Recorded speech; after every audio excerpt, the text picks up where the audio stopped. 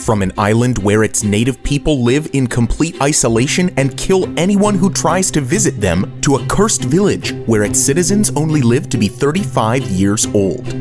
And from super rare halos that appear in the middle of Greenland to the most remote piece of land on the entire planet, here are the most isolated places on Earth. What if I told you that there was a country that has never recorded a single case of COVID 19? This place is Nauru, which is the smallest republic in the world. It is only 21 square kilometers in size, which is less than half the area of Manhattan. But that is not the only record that Nauru currently holds. With just 200 visitors a year, it is the least visited country in the world.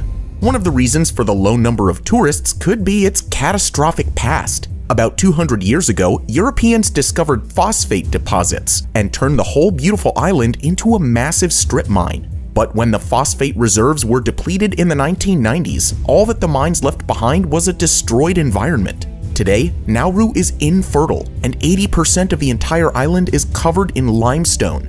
This terrible mining also contaminated the waters nearby and destroyed its ancient coral reef. Speaking of islands, our next place is North Sentinel Island, where its native people have lived in complete isolation for most of the past 30,000 years. It is officially controlled by India, but if you had the silly idea of asking the people living there, they would very likely kill you. In fact, they will attack anyone who tries to enter this island. In 2018, a local tribe killed an American tourist who tried visiting the island the 26 year old John Allen Chau paid fishermen to ferry him over to the island. The fishermen warned him not to go, but he didn't listen. Upon his arrival, he was immediately killed with arrows by the local people. Even other indigenous groups from nearby islands are cautious of the North Sentinelese. They've lived so far apart from them that at this stage they can't even understand their language. In the 20th century, anthropologist Trilok Nath Pandit spent decades trying to reach out he would send presents like coconuts and fruits, and in 1991, he finally made contact. He could not understand their language and communication was difficult, and soon a young boy made a gesture to say he was going to cut off his head. By 1996, they had stopped giving gifts and the Indian Navy established a buffer zone to keep curious visitors away.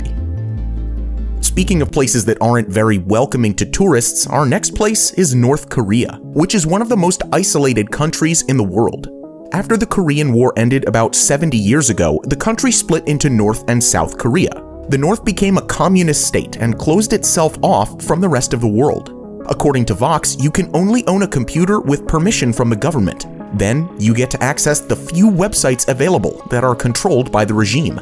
Any information about its leader, Kim Jong-un, will be highly complimentary, According to local news outlets, he could drive at the age of three, has discovered a drug that cures cancer, and can even control the weather.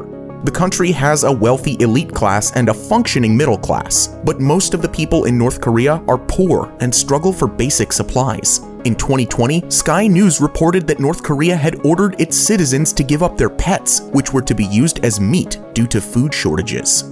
International travel is very limited, and anyone who visits is under strict supervision. Those with the US and South Korean passports are normally not allowed in, as North Korea sees these countries as their enemies. Most tourists come from China, a country that is a key ally to the North Koreans. North Koreans cannot freely travel around the country, never mind travel to a different country. Since the Korean War ended, it's estimated that around 300,000 have somehow managed to escape. But if you're caught, you could be sent to a prison camp or even killed. Worst of all, if you do escape, the government will come for your family members and send them to the prison camp.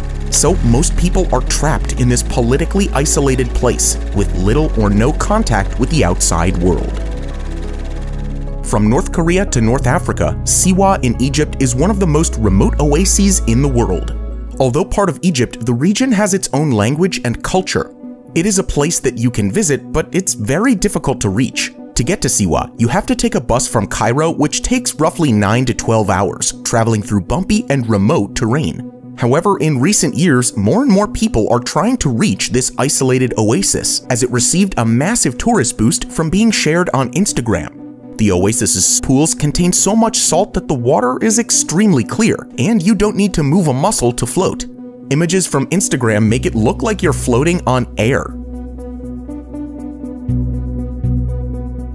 So far, we've only visited places that have a tropical or warm climate. But what about the north? Welcome to Ittoqqortoormiit in Greenland. This place is so isolated that its guest house has been dubbed the most remote hotel on Earth. There are no cars and no phone signals. It's about as remote as the average tourist can get.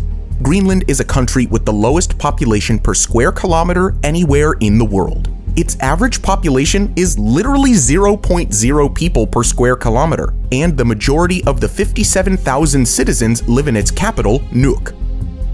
In Ittoqqortoormiit, residents have access to heating and electricity, and Wi-Fi is available in the local recreation area. You can order something on Amazon, and it will eventually arrive on a charter plane, which travels once every two months. But if you want to get even further north, you can go to Alert in Canada. It is the northernmost continuously inhabited place in the world. But to travel here is easier said than done. It's not a village or a town, but a military base for the Canadian military. According to data from 2018, 80 people live there and they are 800 kilometers away from the nearest community. So even by plane, it will take you at least an hour to get to the closest city. But isolation isn't the only thing that makes life difficult in Alert. There are 24 hours of sunlight in the summer, but 24 hours of darkness in the winter. Therefore, you will be medically screened before your arrival, and anyone suffering from depression or alcoholism is advised not to go you are limited to two drinks of alcohol per day when staying there. During the winter, the temperature drops below negative 50 degrees Celsius. If you stay out too long in this cold, you can lose consciousness, develop hypothermia, and even die. Relatively close to the remote city of Alert lies the Summit Station, one of the world's most remote research stations. Funnily enough, the nearest town is Ittoqqortoormiit, which we've already covered and which has the most isolated hotel in the world. But what makes this place so special are the super rare and unusual atmospheric optics. Under the right conditions, halos, sundogs, and upper tangent arcs can be observed. The station lies on a mountain about 3.2 kilometers above sea level, which means that it's usually safe from polar bears. However, in 2018, a polar bear did visit the station and everyone fled into the main house, while others lured it away by operating loud machinery and giving it food. It was the first polar bear to visit since 1988.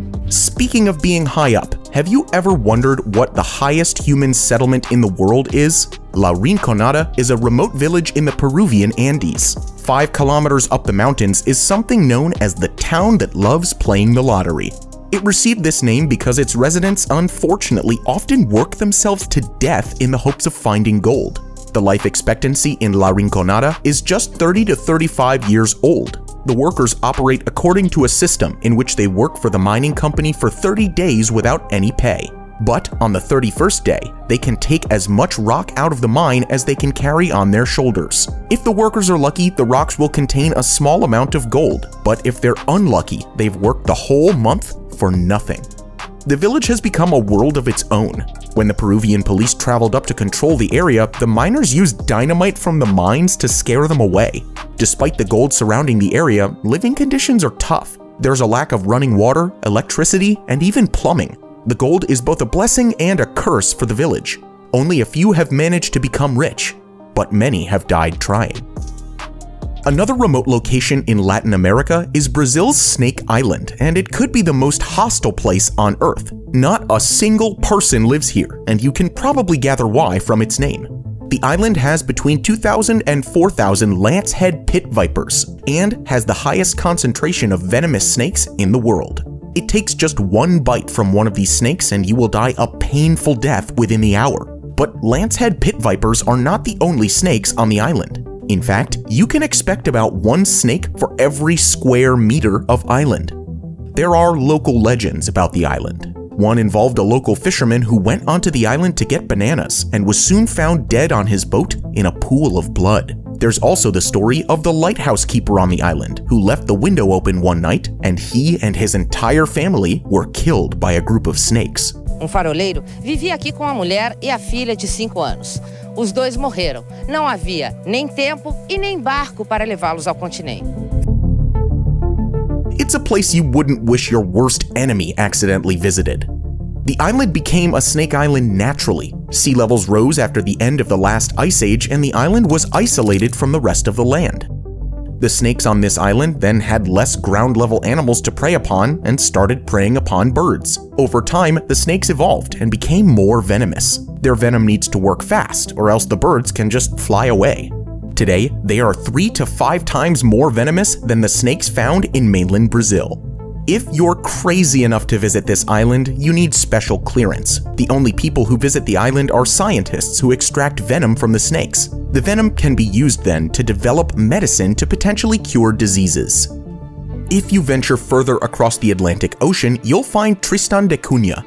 It's been dubbed the world's most remote inhabited island group in the world, and unlike most of the remote islands we've mentioned earlier, there is no airport. To get to Tristan da Cunha, you'll need to get on a ship from Cape Town. Not only that, you'll need to get the island's permission to travel too. This is a 2,810 kilometer trip and will take about six days. Life has been very peaceful on this island, except in 1961, when the entire island had to be evacuated due to a volcano eruption. The island is a British territory, so the islanders were brought over to England. After a few years, the islanders got homesick and simply moved back when it was safe to do so. But besides its volcano, this beautiful island does have another downside. If you want to order something from Amazon, it'll take four months to arrive. If that's not far enough away from humanity for you, you should try to get to Bouvet Island. It's the most remote, uninhabited island in the world, and it is the furthest from any other land on Earth. Getting there is extremely difficult. There are no airports nearby, and there's not even a harbor on the island. It's technically a nature reserve, so you're not allowed to visit, but it's unlikely that there will be anyone there to forbid you from entering. The seas are rough, and most of the island is covered in ice, so it's incredibly difficult to travel by boat to. What has been done in the past is to sail near the island and launch a helicopter from the boat onto the land. Only scientists and researchers ever visit the island. In the 1970s, the Norwegian government declared Bouvet Island a nature reserve. Not a single human lives there, and the place receives barely any visitors, so this is probably the most isolated piece of land you could find on Earth. But if the most isolated piece of land is still not far enough away from humanity for you, you could go one final step further. The most remote place on the Earth is Point Nemo. This isn't actually an island or a piece of land, but a specific point in the Pacific Ocean. It is the furthest point in the ocean from land. You are as far from humanity as you can possibly get on Earth. Point Nemo is 2,688 kilometers from the nearest land in every different direction. The nearest islands are Ducie Island, Maher Island in Antarctica, and Motu Nui in the Easter Islands. But these are not really big islands either. In fact, Motu Nui is the only island of these with inhabitants, and it has a small population of 5,700. So, the people closest to Point Nemo might even be the astronauts orbiting 400 kilometers above it on the International Space Station. Because this area is so remote, it's also used as a spacecraft dumping ground. Over the past 50 years, over 260 pieces of space junk have crashed into Point Nemo. This is because it's safer to crash old satellites and spacecraft in the ocean rather than letting them float around randomly in space. But apart from some rocket parts and satellites that crash once every few months, there isn't much going on in this place. Which of these places would you like to visit? Let us know in the comments below. If you want to watch another one of our videos, you can check out our video about the most useless mega projects in the world. Thank you for watching, and we'll see you in the next video.